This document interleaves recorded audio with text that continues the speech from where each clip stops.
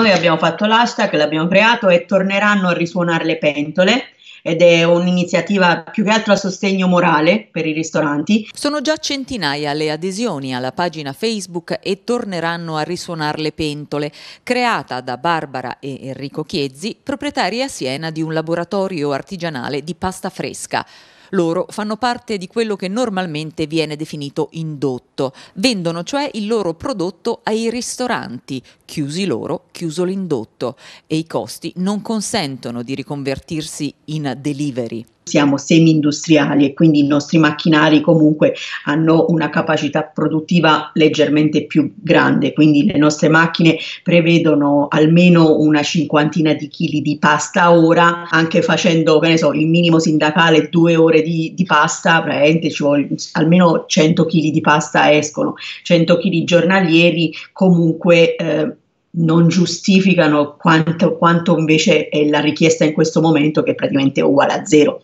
Le spese non consentirebbero nemmeno di riaprire per rifornire quei pochi ristoranti rimasti aperti per la consegna a domicilio, in quanto le richieste sono talmente basse che anche loro hanno tagliato i costi. Una situazione che perdura da un mese e di cui ad oggi non si vede la fine per il mondo della ristorazione, che sarà probabilmente tra gli ultimi a riaprire. Noi, guardando diciamo i fatturati dell'anno scorso, siamo intorno tra i 10 e i 12 mila euro di mancato fatturato. Sicuramente se si protrarrà anche aprile e forse maggio, diciamo così, eh, potremmo arrivare intorno ai 40.000 euro perché considera che comunque aprile, maggio c'erano ponti, c'era Pasqua. In un momento che definire difficile è un eufemismo, Barbara e Enrico hanno lanciato l'hashtag motivazionale e torneranno a risuonare le pentole che in pochi giorni ha ricevuto tantissime adesioni di ristoratori senesi e non solo, chi approfitta per dare consigli di cucina, chi un incoraggiamento, chi vuole anche solo esserci